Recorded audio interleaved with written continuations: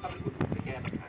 ทางวิศวกรรมตรงนี้ยังไงครับจะเซตให้ดูเซตให้ฟังเรามาดูกันว่าเว็บไซต์เนี่ยมันคืออะไรมันตัวเว็บไซต์เนี่ยก็จะตั้งอยู่ใน